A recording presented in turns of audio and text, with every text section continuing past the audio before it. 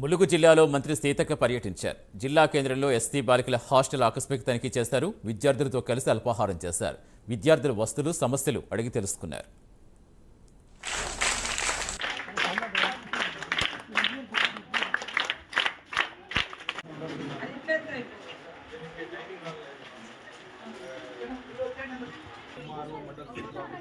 అందరికీ డివైడ్ వారానికి ఒకసారి విజిట్ చేస్తారు.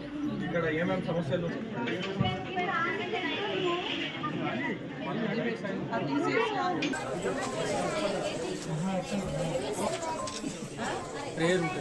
హనుమాన్ బస్